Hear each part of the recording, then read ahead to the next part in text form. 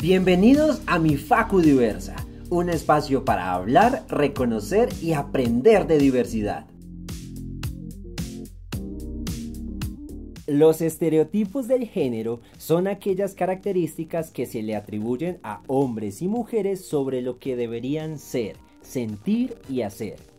En general, los estereotipos postulan las maneras en que las personas deberían expresarse ante la sociedad de acuerdo a su género asignado. En principio, la idea de asignar comportamientos a lo masculino o femenino se afianzó en la idea de definir características específicas para cada género. De esta manera, el color rosa, las muñecas, la delicadeza y la sensibilidad se relacionaron a las niñas. Por el contrario, el color azul, los carritos, los valores asociados a la fuerza, el poder y el liderazgo se asignó a los niños. Ideas como que las mujeres son débiles y sensibles, que los hombres son imbatibles y no lloran, se fueron reforzando en nuestra sociedad, estableciendo supuestas formas de ser hombre y supuestas formas de ser mujer. Y en esa misma idea se excluyeron muchas maneras en que un ser humano puede manifestarse.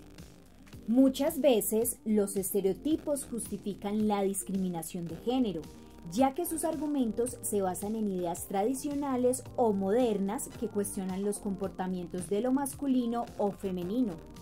Los estereotipos afianzan ideas como que las mujeres son más aptas para las tareas del hogar, que los hombres no son tan buenos cocinando, que las mujeres deben ser más moderadas en su comportamiento, los hombres menos cariñosos, que la mujer es sumisa y el hombre es el que provee económicamente a la familia. Y así aparecen un sinnúmero de teorías que finalmente son excusas que tradicionalmente han mantenido en límite al género entre lo que se debe y no se debe hacer.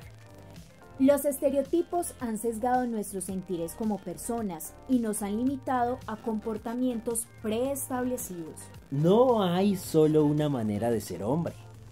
Tampoco hay una sola manera de ser mujer. Existen infinitas maneras para ser, sentir y expresar. Así que nos vemos en el siguiente podcast aquí en Mi Facu Diversa, porque Mi Facu Diversa es pluralidad de voces.